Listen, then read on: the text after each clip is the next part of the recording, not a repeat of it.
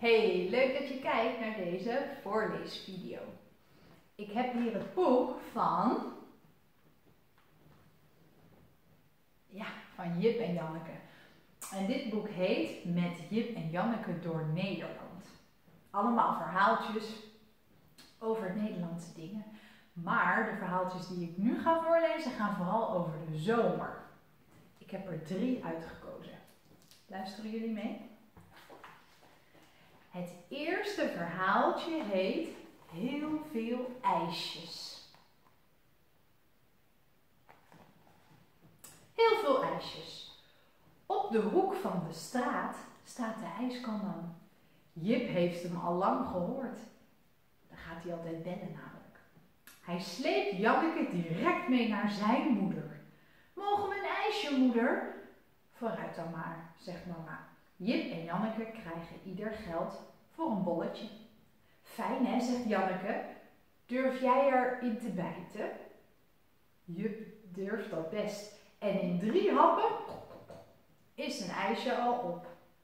Janneke doet er een beetje langer over. Het is ook zo koud. Net als ze hun ijsje op hebben, komt Jips vader aan. Op de fiets. Hij kijkt eerst naar Jip en Janneke en dan naar de ijskomman. Willen jullie een ijsje? vraagt hij. Alsjeblieft, zeggen Jip en Janneke.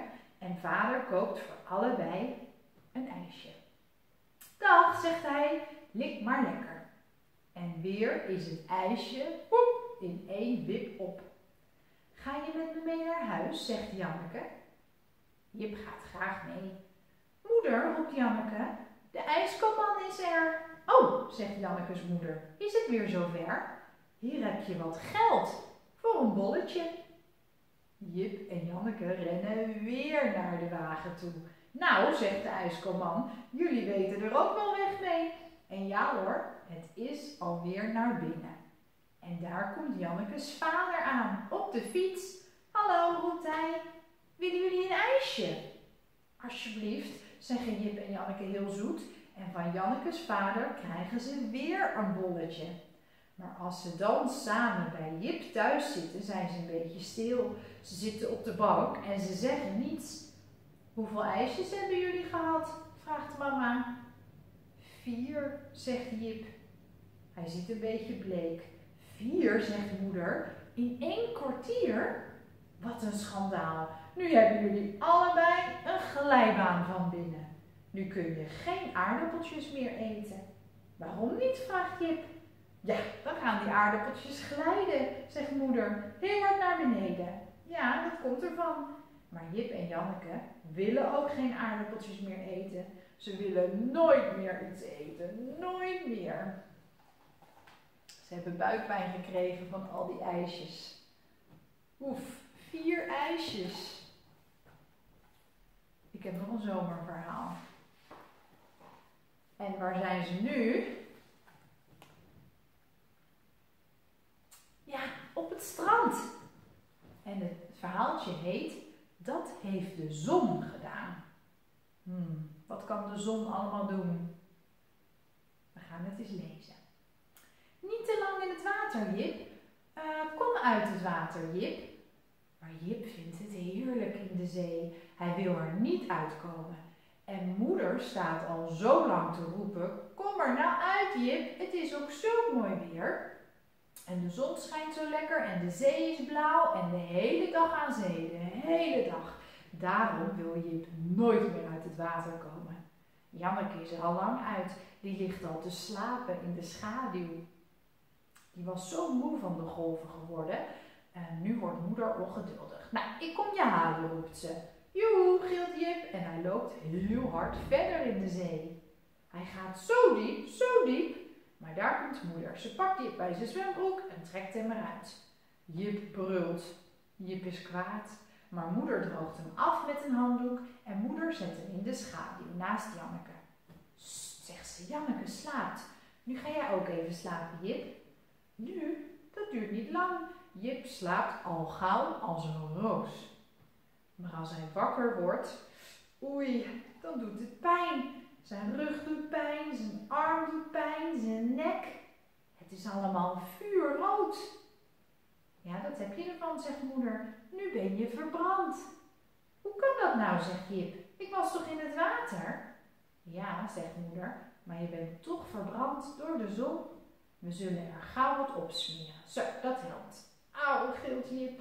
En als ze samen in de trein zitten om weer naar huis te gaan, moet Jip alleen maar huilen. Het doet zo pijn, zegt hij. Het doet heel erg pijn. Zal ik even blazen, zegt Janneke. Dan doet het niet meer pijn. En ze blaast in Jips nek en over zijn ruggetje en in zijn bloesje. Zie je wel, zegt Janneke. Nu gaat het over. Ja, zegt Jip. Nou gaat het over. Maar het duurt nog wel een hele dag voordat het over is. Och, ik ga nooit meer zo lang in zee, zegt Jip. Hij was helemaal verbrand. Nog een laatste verhaaltje. Dat ze aan het buitenspelen zijn. Kijk, hier is die. En waarop zijn ze aan het rijden? Ja, op de step. Janneke zit op de grond en ze doet niets. Ze zit maar en Janneke's mama zegt: Moet je niet naar Jip? Nee, zegt Janneke. Moet je niet buiten spelen met Jip? Nee, zegt Janneke. En Janneke kijkt heel verdrietig. Hebben jullie ruzie? vraagt moeder. Nee, nee, zegt Janneke. We hebben geen ruzie. Maar wat is er dan? Jip heeft een step, zegt Janneke. Moeder kijkt naar buiten en daar stept Jip op de straat. Het gaat heel erg hard, heel erg hard. En hij vliegt de hoek om met de step en hij heeft geen tijd meer om met Janneke te spelen. Het is net of hij Janneke helemaal is vergeten. En daarom is Janneke zo treurig. Ze zit zomaar op de grond en ze wil niets. Jip zal wel weer gauw komen, zegt moeder. Hij krijgt wel genoeg van zijn step. Maar dat is niet zo. Jip gaat iedere dag op de step. En dan zegt de moeder van Janneke, ja, zo kan het niet. Janneke krijgt ook een step. Maar je moet beloven dat je niet van de stoep afgaat, Janneke. En dat belooft Janneke. Er komt een hele mooie step voor Janneke. En nu zijn ze weer samen. Ze rijden de hele straat langs. En Janneke's moeder staat voor het raam en kijkt. Toet toet, gilt Jip en hij zwiert met de step langs. Bang bang, roept Janneke. En ze probeert Jip bij te houden, want Jip kan veel harder steppen dan zij. Dat was het verhaaltje. Over de step. Drie zomerverhaaltjes uit dit boek. Leuk dat je hebt gekeken. Doeg!